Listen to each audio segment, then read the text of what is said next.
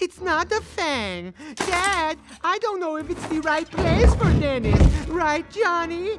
Oh, hey, dude man, it's not me. It's maybe. Hey, dude man, I'm afraid to say anything. Hey, dude man, I'm a dude man. Uh, Drac? Who, who are you talking to? Do not disturb. The count's wigging out in here.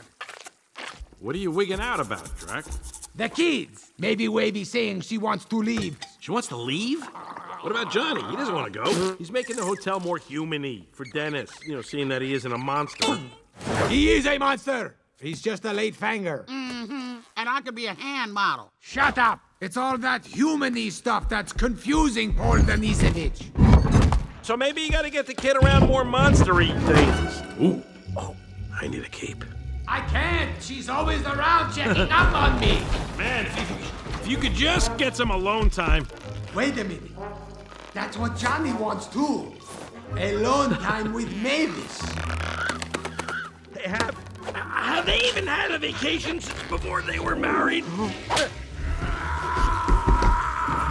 They're going to now, and so are we. Frank, you're a genius.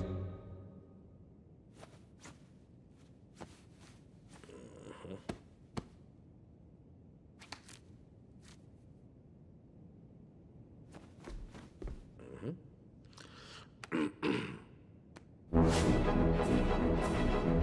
you.